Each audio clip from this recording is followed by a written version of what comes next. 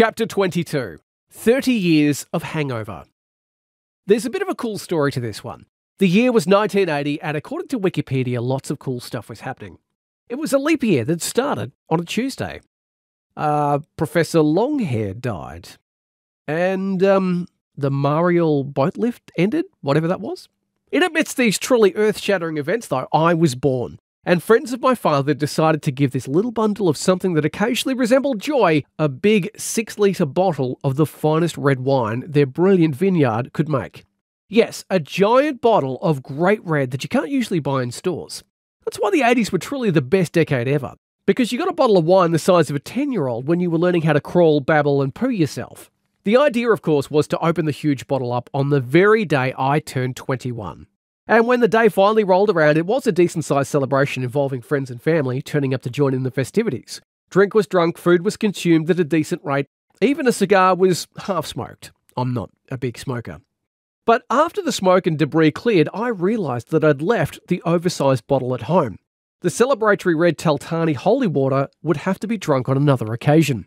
Flash forward nine years later, and I came to the amazing conclusion that still, even though I'd moved many a time and taken the giant bottle with me every single time, I still hadn't found the time or an event worthy of popping the cork. I'd even had it valued, and even the valuer suggested popping it open rather than attempting to sell it. So it stayed in the dark some more, doing not much in a dark corner of my cupboard until that fateful day in March when I figured that come hell or high water, that bottle would be opened on my 30th birthday. Would it be the finest product of the grape? Or would it be completely and utterly undrinkable and more effective as paint stripper? Plenty of people at the momentous event took a sample, and here were the results. Now, please note that I'm the furthest away from a wine expert that you can get. This was my dad's gig and something he did ridiculously well. My notes are based on zero training and nothing intelligent whatsoever. First up, we've got the colour. Not the deep dark red as I'd hoped for. Even though it had spent most of its life on its side in a dark place at Dad's insistence, the colour really did take on the coppery aspect of blood. Real blood, not Hollywood blood, and seemed to have lost some of its viscosity. No sediment though, which was good. If it was scanned by a paint matching machine, it had probably come close to a glossy Mongolian deep rust, or a big bottle of Coke that's been a touch bleached by the sun. The smell. Ever opened a bottle of your grandma's port and have your nostrils assailed by the very strong smoothness? This smelt strongly of watered down port mixed with some weak house red from a cheap and nasty Italian restaurant where you'd buy it in a big silver bag. This, of course, was nowhere near what I'd imagined a 30 year old Cabernet Sauvignon to smell like. Not that I'd really know what it's supposed to smell like after 30 years, but surely not like this. I'd attempt to list the scents a la half decent wine writers, but I couldn't tell you if it had vague hints of tobacco or banana leaf or chocolate or anything. It just didn't smell like it probably should have. The cork. Like a mangled car wreck toasted in fire and then doused in soothing fortified wine directly after. It didn't pop out, more so rotted out.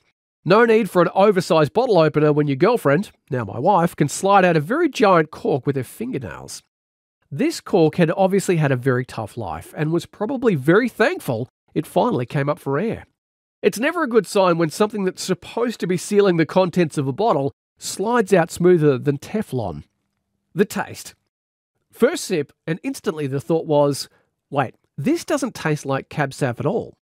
Upon the second sip, hey, it tastes more like watered down port. And the third sip netted me the, wow, this thing didn't mature, it fortified itself. Is this possible? I have no idea whatsoever. Do I look like a wine specialist? But that's what it tasted like. Imagine if a fortified port went to a gym with no warm up whatsoever and proceeded to beat the hell out of itself for a few hours, then had a strength test which it failed miserably. Think rookie port made in someone's shed that's lacking in strength, smoothness, and the warming effect that really makes it enjoyable. I was drinking Port BC, a self created experiment that really didn't bear any of the fruit namely tasty grapes, that I wanted. The after effect. Like a night on the garlic pizza with an uncle who simply won't go home no matter how loud and embarrassing he gets after having a few, this thing lingered like nothing else I'd ever seen. The watered down flavour stayed around my mouth for a very long time, and rather than being memorable, it seemed to linger worse as time went on. It started as an okay sensation, but then seemed to age around my gums during the ad breaks. Maybe it's like if you drink from the wrong Holy Grail in an Indiana Jones film. This stuff aged a billion years in a few moments.